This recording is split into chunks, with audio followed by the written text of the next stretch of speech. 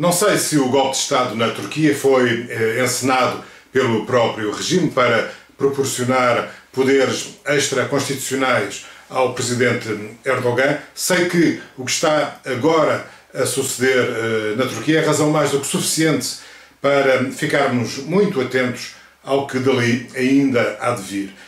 Tudo indica que, fatalmente, a Turquia deixou de ser um parceiro uh, fiável para o Ocidente, mas não espero uh, mais nada além do que algumas declarações uh, de indignação previamente negociadas entre o orador e, o alvo dessas mensagens.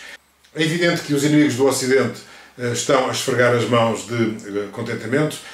Isto causa algum embaraço político à União Europeia, uh, provoca uh, alguma complicação à manobra dos militares da NATO, mas também, também vos digo que não é por passar a ser uma ditadura que a Turquia vai, vai ser completamente ostracizada pelos seus atuais parceiros. A NATO, por exemplo, já conviveu com outras ditaduras no passado, a de Salazar, nomeadamente, e, evidentemente, a União Europeia e os Estados Unidos hão de encontrar um, um discurso pragmático e cínico, uh, quanto baste, um, que justifique a manutenção das relações económicas e políticas um, de proximidade com a Turquia.